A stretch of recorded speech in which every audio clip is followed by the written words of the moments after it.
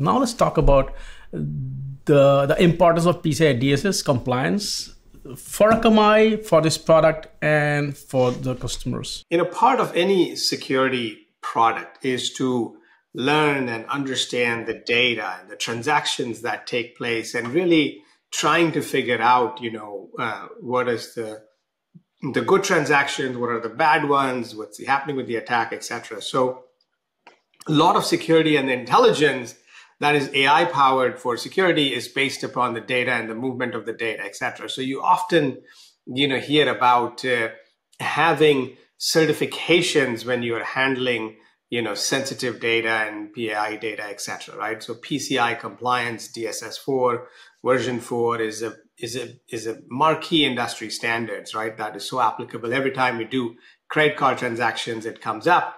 Uh, but uh, having the product certified because we are you know kind of going through all of this information and data for the customers we tokenize some of that data encrypt it. And so we, we we're kind of very you know careful in how we handle all of these things uh, and the certification is another sort of you know industry stamp and confirmation about the best in class practices that we have um, to deliver that. It also gives a peace of mind right? Customers have hey, I'm in the financial services industries and PCI is, is important, right? So um, gives us an ability to kind of meet those uh, entry point requirements. Uh, but also, you know, underneath PCI, we are making sure that all our processes and our capabilities and our systems are all sort of, you know, meeting uh, the, the regulatory environment guidelines, but also robust to make sure we're keeping it all tight and together for customers.